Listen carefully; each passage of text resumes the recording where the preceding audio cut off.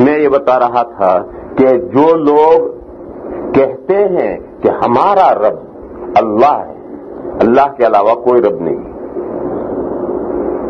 यानी जो ईमान लाते हैं, अल्लाह को ही खालिक मानते हैं, मालिक मानते हैं, पालनहार मानते हैं, परवरदिगार मानते हैं, उसी को लेजिस्लेटर मानते हैं, उसी के कानून को वाजिबुल इत्तिबा मानते हैं और उसी के कानून का फॉलो करते हैं।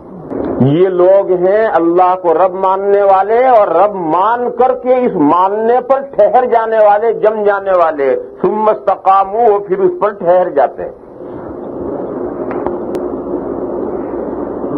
यानी वो मोमिनीन जो ईमान के साथ तमाम आमाल सालेहा, और तमाम आमाल सालेहा करना और तमाम बुराइयाँ उनसे बचना ये ईमान के साथ ये दो चीज़ें भी जिनके अंदर है। इसी का तो नाम है अल्लाह को रब मान करके उस पर ठहर जाना, मज़बूत हो जाना। उस पर मज़बूत हो जाना ये है कि अल्लाह ने जो जो आहकाम दिए हैं, उन तमाम आहकाम की तामील करें। अल्लाह ने कहा, ये काम करो, वो कर रहा है। अल्लाह ने कहा, ये काम मत करो, वो नहीं करता। तमाम गुनाहों से बचना और तमाम वो अहकाम जो अल्लाह ने दिया है, उन तमाम अहकाम को बजा लाना, पूरा करना, ये वो मोमिन हैं जो अल्लाह को रब मान करके इस इस अकीदे पर, इस ईमान पर मज़बूत हो गए।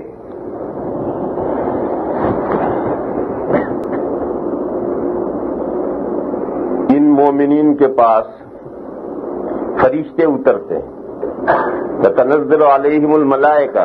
और फरिश्ते उतर करके आगे चंद बातें हैं वो चंद बातें उनको कह, उनसे कहते हैं। कोई सोच रहा होगा कि हमारे पास तो कोई फरिश्ता नहीं आया। हमने तो बतेरी नमाजें पढ़ ली बतेरे रोज़े रख लिए तरावी पढ़ते पढ़ते घुटने भी टूट गए मगर फरिश्ता तो कभी आया नहीं। तो मेरे भाई इसको समझो ये फरिश्ते उतरते हैं सकरात के वक्त, मौत के वक्त उतरते। पूरी ज़िंदगी में नहीं उतरते। और पूरी ज़िंदगी में भी किसी किसी के पास आते हैं, लेकिन वो सब फरिश्ते, वो वो फरिश्ते आते हैं शब कद्र में। पुराने करीम में है तनजल अलमलाइकत व रूह फ़ी हा बे इजन रबीम शब कद्र में अल्लाह के इजाज़त और परमिशन से हज़रत जबराइल सलाम और दूसरे फरिश्ते ज़मीन पर उतरते हैं उस रात में। और अल्लाह का जिस जिसके बारे में इजाज़त हो, बाग अल्लाह के बंदों से ज़ाहिर होकर उनसे मुलाकात करते हैं मुसाफे करते हैं। ऐसे भी अल्लाह के बंदे हैं कि उन्हें शब कद्र में फरिश्ते ज़ाहिर होकर उनसे मुलाकातें करते हैं। मगर ये रुतबा ये आसानी से हर एक को नहीं मिलता। है अल्लाह के कुछ बंदों को ये मकाम है। बाकी हज़रत जिब्राइल और फरिश्ते शब कदर में ज़रूर उतरते हैं, कुरान करीम में है। उतरकर पूरी ज़मीन का दौरा करते हैं और खास खास बंदों से मुलाकात भी करते हैं। बाकी आम बंदों से मुलाकात नहीं होती। क्यों आम बंदे से मुलाकात क्यों नहीं होती? हम रात को, आधी रात को ईशा के बाद, आधी रात को तहजद पढ़ रहे हों। और तहजद पढ़ते हुए हमारे कमरे में अचानक चार आदमी खड़े हो गए। असलाम वालेकुम। क्या होगा हाल हमारा? बेहोश हो जाएँगे बेहोश हो जाओ आते तो गनीमत है, कब्रस्तान पहुँच जाए तो बेहोश हो जाए तो सुबह होश आ जाएगा, लेकिन हाथ फेल हो जाएगा आदमी। इसलिए उन फरिश्तों को ज़ाहिर होकर के उनको समझना कि ये फरिश्ते हैं और उनसे खौफ न खाना, न डरना और उनसे मुलाकात करना और होश में रहना। एक साहब थे न, वो कहा करते थे कि मुझे मलकुल मौत देखने का बड़ा शौक है। कभी दिखता नहीं है, कब आता है और कब जाता है। वो तो मौत का फरिश्ता तो जाने वसूल करने के लिए बराबर अप डाउन करता रहता है। तो बड़ा शौक है। एक दिन जंगल में से लकड़ियों का गट्ठर उठा करके आ रहे थे। बड़ा भारी गट्ठर था तो रास्ते में एक जगह डाला गुस्से में और कहने लगा, इससे तो मौत आई होती तो अच्छा था। बस ये कहना था और फरिश्ता ज़ाहिर हुआ, अस्सलाम वालेकुम, मुझे क्यों बुलाया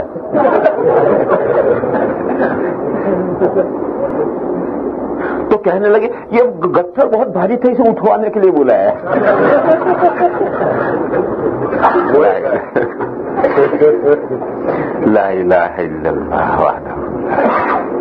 तो गर्ज फरिश्तों का मुकाबला करना, अचानक सामने आए, उनको समझना कि फरिश्ते हैं, फिर उनके साथ बातचीत करना, उनके ये हरेक के बस का नहीं। इसलिए शब कदर में हज़रत जिब्राइल भी उतरते हैं, दूसरे फरिश्ते भी उतरते हैं, मगर वो हरेक के सामने ज़ाहिर नहीं होते। ये मर्तबा मिलता है जिसे मिलता है, हर बुल हवस के लिए दारो रसन का।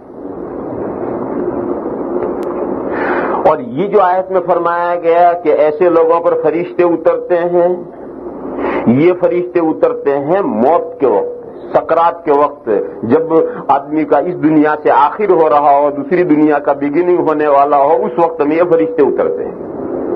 कि उस वक्त तो फरिश्ते हरेक के पास उतरते हैं। वो लोग जो कहते हैं कि हमारे रब अल्लाह हैं, फिर उसके ऊपर जम गए और दीन पर अमल करने लगे, मज़बूत दीन पर रहे, उन्हीं के पास फरिश्ते थोड़े आते हैं, फरिश्ते तो हर एक के पास आते हैं। फिर इनकी तखसीस क्यों है? देखो, फरिश्ते हर एक के पास आते हैं और यहाँ एक मजमून समझो। मलकुल मौत एक फरिश्ता नहीं मलकुल मौत एक फरिश्ता नहीं है, वो हज़ारों लाखों करोड़ों फरिश्ते हैं। वो पूरा एक डिपार्टमेंट है। और उस डिपार्टमेंट के जो हेड हैं, उनका नाम है हज़रत इज़राइल अलैहिस्सलाम हज़रत इज़राइल अलैहिस्सलाम जिस फरिश्ते का नाम है, वो उस पूरे डिपार्टमेंट के हेड हैं।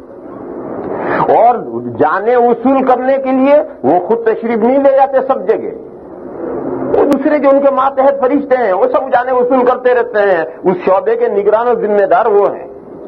और कहीं कहीं कहीं कहीं हज़रत इसराइल अलैहिस्सलाम खुद तशरीफ़ ले जाते हैं। नबियों की रूह वसूल करने के लिए खुद हज़रत इसराइल तशरीफ़ ले जाते हैं। दूसरा मातहत नहीं जाएगा। बड़े आदमियों की रूह वसूल करने के लिए खुद हज़रत तशरीफ़ ले जाएँगे।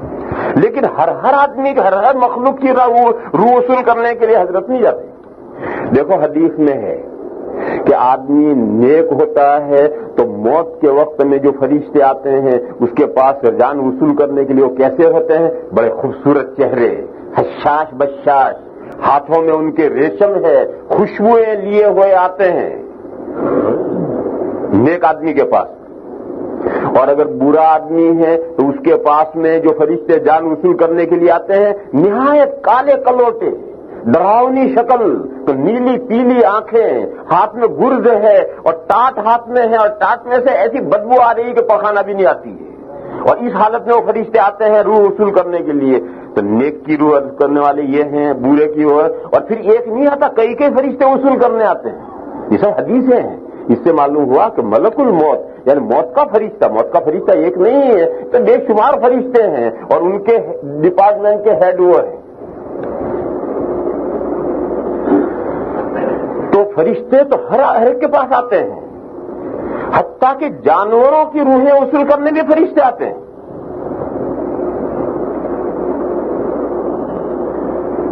एक तालिब इल्म ने जो कॉलेज में पढ़ता था यूनिवर्सिटी में पढ़ता था उसने हज़रत थानवी कुद्दसा सिर रूहू के सामने एक इश्काल किया समझने के लिए। उसने कहा कि हज़रत, ये जो हदीस शरीफ में है कि जहाँ तस्वीर होती है और जहाँ कुत्ता होता है, वहाँ फरिश्ते नहीं आते। हदीस शरीफ है कि जहाँ तस्वीर होगी और जहाँ कुत्ता होगा, वहाँ फरिश्ते नहीं आएँगे।